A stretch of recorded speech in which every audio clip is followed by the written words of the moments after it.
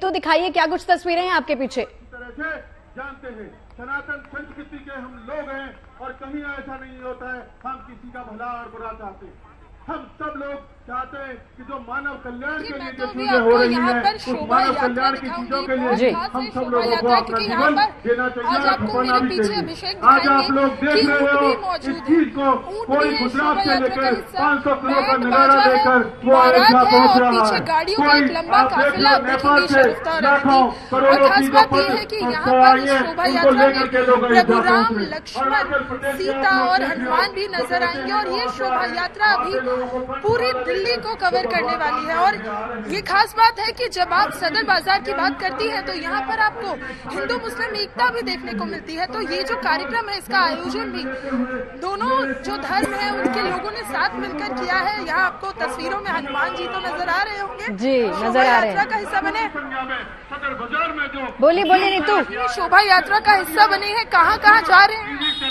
कहिए जय श्री राम श्री राम कहिए एक बार। तो देखिए यहाँ पर आपको हनुमान जी नज़र आ रहे हैं। पीछे पीछे वाले रथ में आपको शगुफ्ता राम लक्ष्मण और माँ सीता नज़र आएँगे। एक बार गुड न्यूज़ टुडे के दर्शक उनसे भी बात कर लेंगे। शोभा यात्रा शुरू हो गई है। प्रभु राम लक्ष्मण और सीता दिल्ली वालों को दर्शन देने निकल गए हैं। सबसे पहले कैसे बाज़ार के लोग भी करें यहाँ से कोई न कोई पहली बात बिल्कुल तो देखिए ये जो शोभा यात्रा है ये अभी यहाँ शुरू हुई है सदर बाज़ार से। और ये दिल्ली के कई अहम हिस्सों को कवर करने वाली है यानी वहाँ से गुजरने वाली है। और ये दिखाने के लिए काफ़ी है कि राम मंदिर का उत्सव जो अयोध्या में है वो ही तस्वीरें दिल्ली में भी है। यहाँ पर भी राम भक्त बहुत उत्साहित है। दिल्ली राजधानी है देश की और यहाँ पर भी ऐसा लग रहा है मानिए अयोध्या बन गया है। बिल्कुल जी बिल्कुल। ये भी दिल्ली जो है अयोध्या की तरह ही नज़र आ रही है। हर प्राणी के अंदर इस वक्त आनंद और उमंग भरी हुई है। यूँ तो कहते हैं कि राम हर मन में है कण कण में है। लेकिन जब आप राजधानी दिल्ली पहुँचते हैं पूरी गलियाँ देखिए। अभिषेक जी। जी। की एक और खास चीज़ दिखाई बिल्कुल देखिए दिल्ली में भी आ, दिल्ली का हर कल हमने देखा शोभा यात्रा निकाली गई थी। भगवा वस्त्र और आज भी शोभा यात्रा निकाली जा रही है। लेकिन पूछिए ये शोभा यात्रा कहाँ कहाँ से होकर निकलेगी? कर दिया है।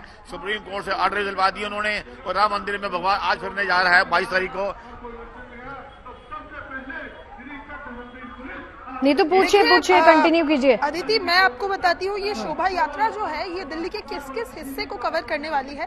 क्योंकि ये यात्रा जो है काफ़ी लंबी होगी। ये यात्रा बिल्कुल अ, मुझे जरा ये बताइए ये यात्रा कहाँ कहाँ से होकर गुजरेगी?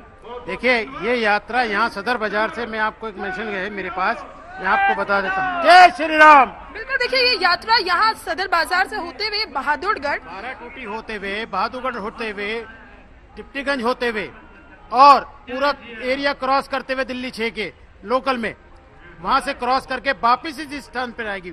अच्छा क्या ये दिखाने को काफ़ी है कि अयोध्या की झांकी दिल्ली में भी नज़र आ रही है? बिल्कुल।